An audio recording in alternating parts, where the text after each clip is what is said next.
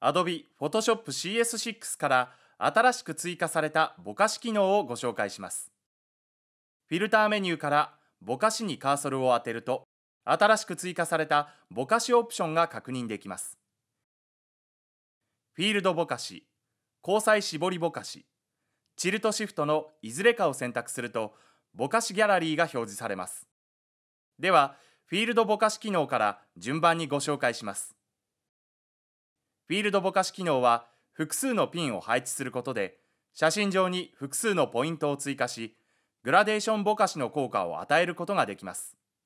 では、自然な写真になるよう編集してみましょう。背景レイヤーが選択されていることを確認し、フィルター、ぼかし、フィールドぼかしと進めます。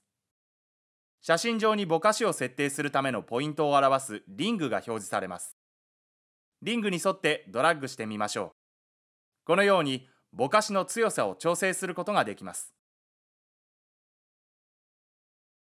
ぼかしのスライダーをドラッグしたり、ボックスに直接数値を入力して調整することも可能です。また、リングをドラッグしてぼかしのポイントを移動することもできます。さて、ピンを追加しましょう。右上と左下に1つずつ追加します。ぼかしの値も調整します。各ピンに異なる値を設定することはもちろん、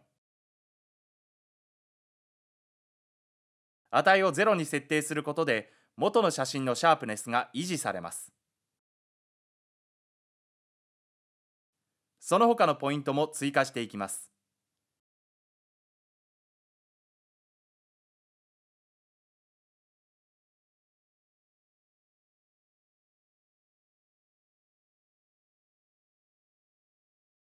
また、ぼかし効果パネルから光のボケや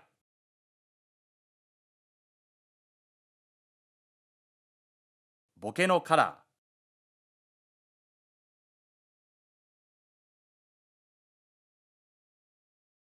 光の範囲などを設定することでぼかしの効果を調整することができます。ここではこのように設定してみました。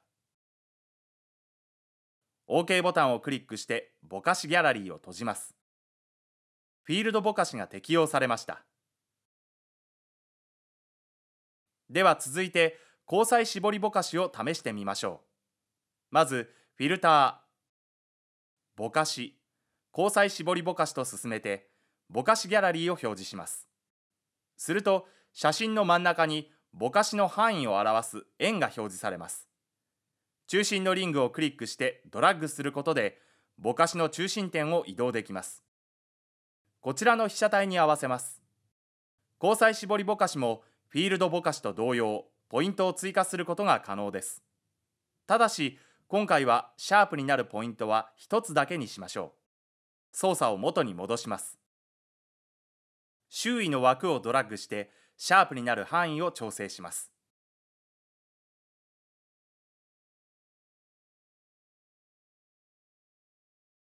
枠状のひし形をドラッグすると、シャープになる範囲を四角形に変更することができます。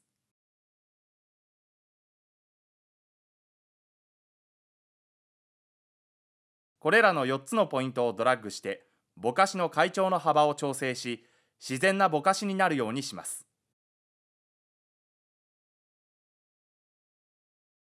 Windows なら Alt キーを Mac ならオプションキーを押してドラッグすると個別に移動させることができます。光のボケも調整してみましょう。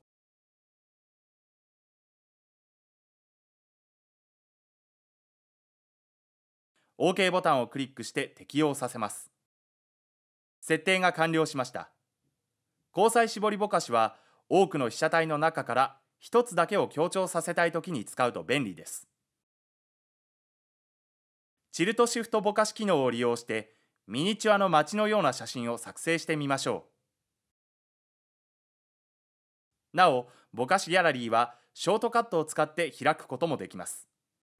Windows ならコントロールプラスオルトプラス F キーを。Mac ならコマンドプラスオプションプラス F キーを押してぼかしギャラリーを表示させます。他のぼかしにチェックがついている場合は外します。チルトシフトに改めてチェックを入れます。チルトシフトのタイトルの左横にある三角形をクリックし詳細メニューを表示させます。続いて写真上に表示されたポイントをこちらの被写体の上へ動かします。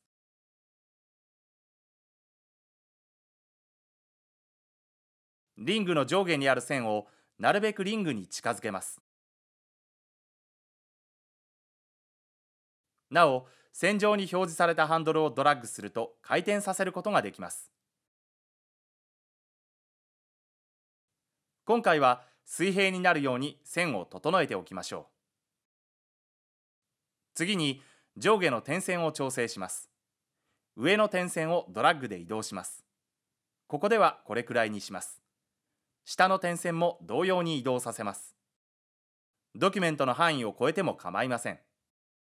ぼかしツールパネルから歪みの値を調整することで写真のぼかしをよりダイナミックに設定することも可能です。今回は歪みの値を0とします。チルトシフトの設定が終わったら OK ボタンをクリックし確定させます。おもちゃの街のような写真に仕上がりました。新しく追加されたぼかし機能を利用して写真の中のキーとなる被写体を強調することでより魅力的な写真に仕上げることができます。以上3つの新しいぼかし機能をご紹介しました。